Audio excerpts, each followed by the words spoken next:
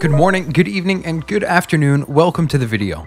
Today, we're going to be discussing what a blockchain is in under 5 minutes. The Oxford Dictionary describes the blockchain as a system in which a record of transactions made in Bitcoin or another cryptocurrency are maintained across several computers that are linked in a peer-to-peer -peer network. But that's a very general definition. Let's take a deeper look at what a blockchain really is.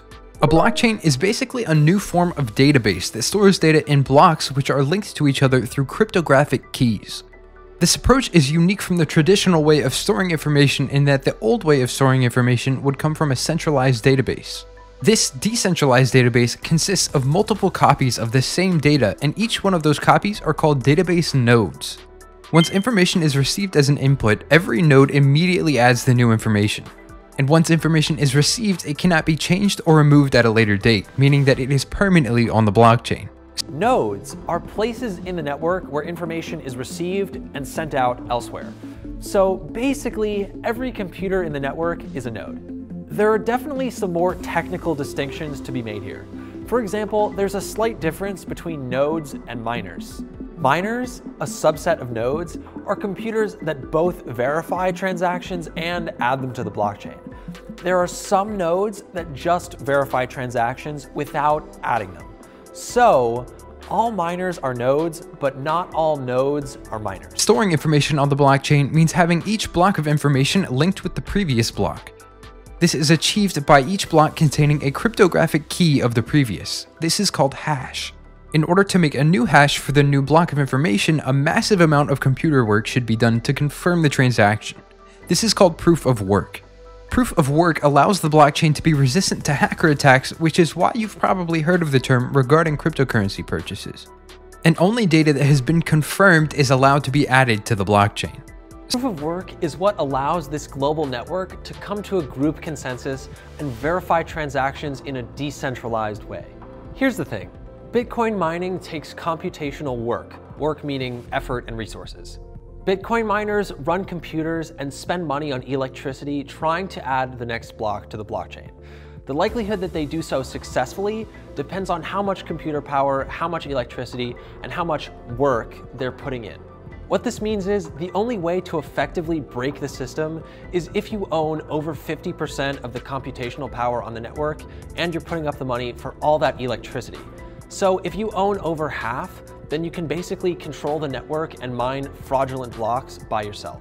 At this point, given the size of the Bitcoin network, owning over half the resources on it would be almost impossible to do. It would be ridiculously prohibitively expensive. Proof of work has kept Bitcoin and many other cryptocurrencies safe thus far. So now that we have a better understanding of how a blockchain works, let's discuss where you can find a blockchain being used. The main use of blockchain currently is for cryptocurrencies such as Bitcoin, Ethereum, and Dogecoin. All of these cryptocurrencies live off of a blockchain and the chain allows for secure transfer of coins to occur. Blockchain technology is also seeing an increase in use among art, fashion, and entertainment.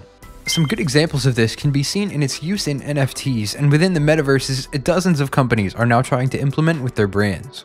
So now that we know of some examples, let's take a look at some of the benefits of using blockchain technology.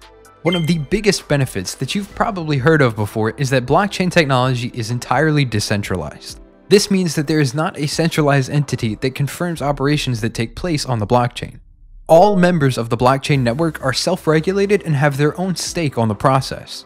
Blockchain technology also ensures security of data, which is achieved by the use of algorithms and the proof of work concept. Transparency is also a huge bonus for using blockchain technology. Information that is confirmed on the blockchain network will stay there permanently and can be accessed at any point in time.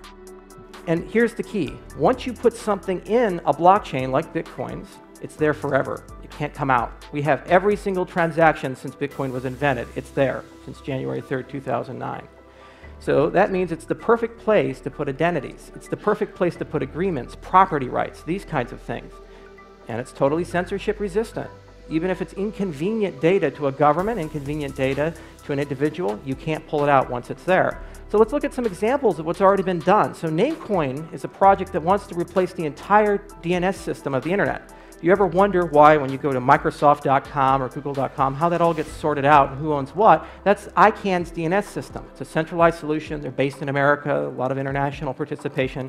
Namecoin is saying, let's completely disintermediate everybody. It's a totally decentralized grid where we actually have a new DNS system. BlockSign actually allows you to take contracts like non-disclosure agreements, anything you can think of, and actually verify them and sign them using the Bitcoin blockchain at an incredibly low cost, less than a penny.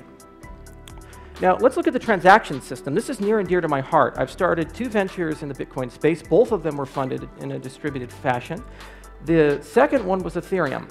So this brilliant kid named Vitalik Buterin last year came up with this idea. He wrote this white paper. He's 19 years old. And I read it and I said, damn it, I have to help him start this because this is brilliant.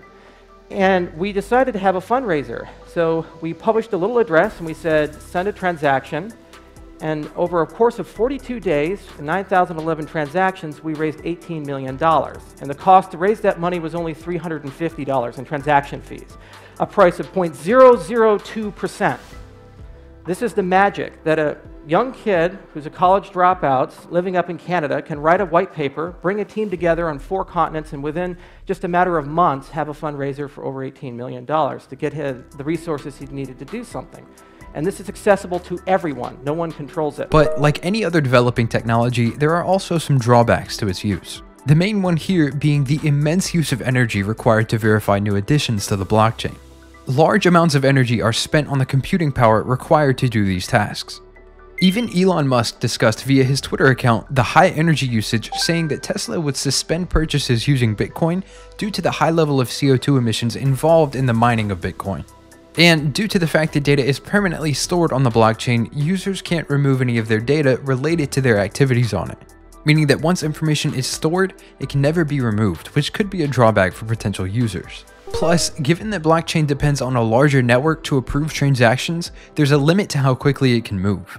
For example, Bitcoin can only process 4.6 transactions per second versus 1,700 per second with Visa.